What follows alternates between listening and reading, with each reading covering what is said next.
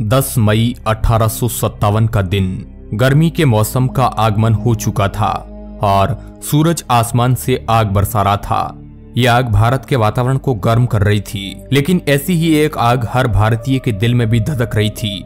यह एक ऐसी क्रांति की आग थी, जिसने ब्रिटिश हुकूमत की जड़ें हिलाकर रख दी थी। 10 मई को मेरठ छावनी से अंग्रेज़ों के खिलाफ भड़की विद्रोह की ज्वाला देखते ही देखते पूरे देश भर में फैल गई। मेरठ, जो अंग्रेज़ों के लिए सबसे सुरक्षित जगह थी, वही विद्रोह शुरू हुआ। अंग्रेज़ों के जुल्मों का घड़ा भर चुका था और हर हिंदुस्तानी के जहन में बस एक ही ख्वाब था, वो थी आज़ादी। खैर, विद्रोह की इस धधकती गर्मी को भी अंग्रेज़ जल्दी ही ठंडा करने में कामयाब रहे और आज़ादी की यह आखिरी किरण ने भी धीमे धीमे दम तोड़ दिया। आगे की कहानी तो हर भारतीय पहले से ही जानता है।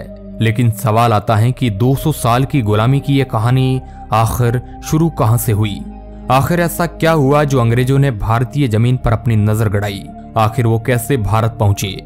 और भारत में उनके आने का क्या इरादा रहा? दोस्तों, इन सवालों का जवाब जानने के लिए इतिहास के पन्नों में थोड़ा और पीछे चलते हैं और गुलामी की दास्तान की शुरुआती जड़ों तक पहुँचते हैं। नमस्कार, मैं आपका दोस्त सुरेश सांचोरी और आप हिस्ट्री टेलीविज़न यूट्यूब चैनल देख रहे हैं। ये कहानी शुरू होती है 24 अगस्त 1608 में, जब व्यापार के इरादे से अंग्रेज़ों ने सूरत बंदरगाह से पहली बार भारतीय सरजमीन पर अपना कदम रखा। तब भारतीय नहीं जानते थे कि यह व्यापारी कंपनी पूरे देश को अपनी गुलामी की जंजीर में बांधने के मंसूबे साथ लेकर आई है। हालाँकि अंग्रेज़ों ने अपने व्यापार को 1609 में स्थापित किया, लेकिन भारत में ईस्ट इंडिया कंपनी की स्थापना 1600 में ही हो गई थी।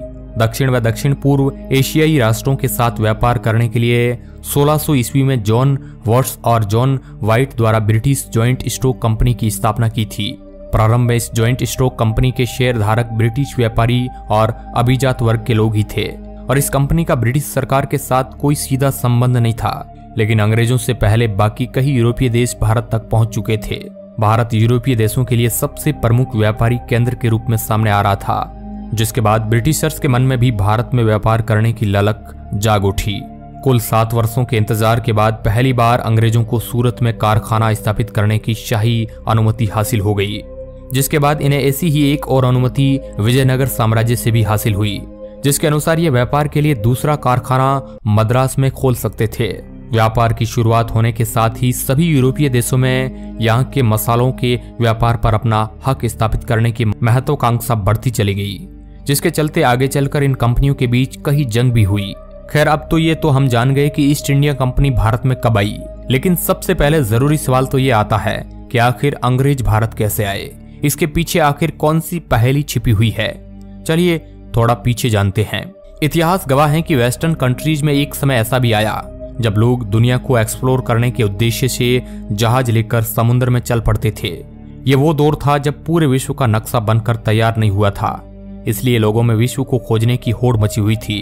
तब यूरोपीय देशों को इस बात की खबर नहीं थी कि दुनिया के किसी कोने में भारतवर्ष भी अस्तित्व में है।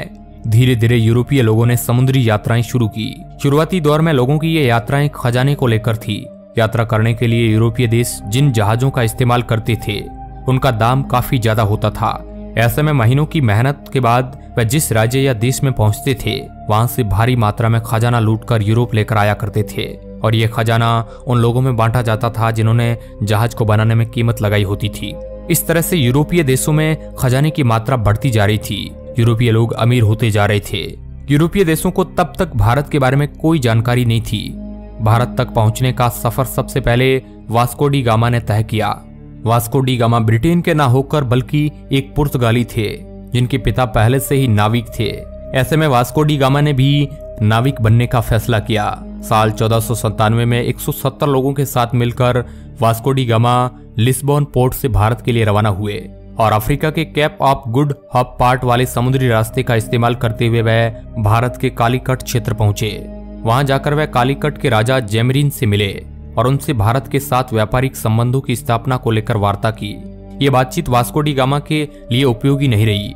ऐसे में वास्को डी गामा वापस पुर्तगाल लौट गए और सितंबर 502 ईस्वी में वे दोबारा भारत आए। इस बार की यात्रा में उन्होंने पिछली यात्रा से ज़्यादा सफलता प्राप्त की और भारत और पुर्तगाल के व्यापारियों के बीच व्यापारिक संबंध स्थापित करने में सफल रहे। वास्कोडी गामा की सफलता को देखते हुए पुर्तगाल के राजा ने बाकी व्यापारियों को भी भारत जाने और व्यापार करने के आदेश दिए। इसी राह पर चलते हुए 1502 में पुर्तगाल द्वारा एक कंपनी स्थापित की गई, जिसे पुर्तुगई ईस्ट इंडिया कंपनी के नाम से जाना गया। इस कंपनी के स्थापित होते ही कई व्यापारी भारत की ओर आकर्षित हुए और व्यापार तेज़ी से बढ़ने लगा। कंपनी की सफलता को देखते हुए राजा ने 1505 में एक फैक्ट्री की स्थापना की, जिसका गवर्नर फ्रांसिस्को डी अल्मीडा को चुना गया। पुर्तगाल के बाद भारत पहुँचने वाली अगली कंपनी थी डच ईस्ट इंडिया कंपनी, जो कि नीदरलैंड से भारत पहुँची थी। ये कंपनी नीदरलैंड से सबसे पहले भारत के मसूलीपट्टनम तट पर पहुँचे। जिसके बाद इस देश ने भी भारत के साथ व्यापारिक संबंध स्थापित करने की कोशिश की। डच कंपनी ने मसूलीपट्टनम पर अपना दबदबा जमाने के बाद सूरत और नागापट्टनम पोर्ट पर भी व्यापार स्थापित किया और धीरे धीरे भारत के कई क्षेत्रों में अपनी फैक्ट्री स्थापित की और अपने व्यापार को तेज़ी से भारत के कई तटों तक फैलाया। साल 1605 में जब डच कंपनी का व्यापार भारत के कई क्षेत्रों में फल फूल रहा था, तभी सूरत बंदरगाह से भारत में एंट्री लेती है ब्रिटिश कंपनी। भारत पहुँचने के बाद ब्रिटिशर्स को महसूस हुआ कि दिन ब दिन पुर्तगाल और डच कंपनीज़ का भारत के साथ व्यापार बढ़ता जा रहा है। ऐसे में ब्रिटेन को भी भारत के साथ व्यापारिक संबंध स्थापित करने की कड़ी ज़रूरत है। दोस्तों, बारीकियों पर जाए तो जॉन मिल्डन हॉल जो कि ब्रिटिशर्स थे, वो सन 1599 ईस्वी में ही भारत आ गए थे। सन 1600 ईस्वी में ही इंग्लिश ईस्ट इंडिया कंपनी को क्वीन एलिजाबेथ द्वारा किए गए चार्टर से शुरू किया गया था। तब यह एक निजी संगठन था, जो शेयर जारी करके शुरू किया गया था। शुरुआती दौर में ब्रिटेन ने भारत में दिलचस्पी इसलिए नहीं दिखाई, क्योंकि यह देश अमेरिका जैसे बड़े देशों को साथ युद्ध लड़ने में व्यस्त था। वेस्टर्न कंट्रीज़ में अपना दबदबा फैलाते हुए ब्रिटेन ने भारत पर अपना राज कायम करने का नहीं सोचा। लेकिन दूसरी यूरोपीय कंपनियों का भारत में दबदबा बनते देख, ब्रिटिशर्स भी भारत के साथ व्यापार करने में दिलचस्पी दिखाने लगे। साल 1608 में कंपनी ने अपने प्रतिनिधि कैप्टन विलियम हॉकिंस को जहांगीर के दरबार में भेजा, ताकि वो सूरत में व्यापार करने की इजाज़त पा सके। लेकिन जहांगीर ने इस प्रस्ताव को ठुकरा दिया। बाद में 1609 में जहांगीर सूरत में एक कारखाना बनाने के लिए राज़ी हो गए। इस तरह ईस्ट इंडिया कंपनी ने 1613 में सूरत में अपना दूसरा कारखाना खोला और 1616 में मसूली पट्टनम में भी तीसरा कारखाना स्थापित किया। इसके बाद धीरे धीरे ब्रिटिशर्स का व्यापार परवान चढ़ने लगा और साल 1632 में ईस्ट इंडिया कंपनी को गोलकोंडा किंगडम में भी राइट टू ट्रेड हासिल हो गया।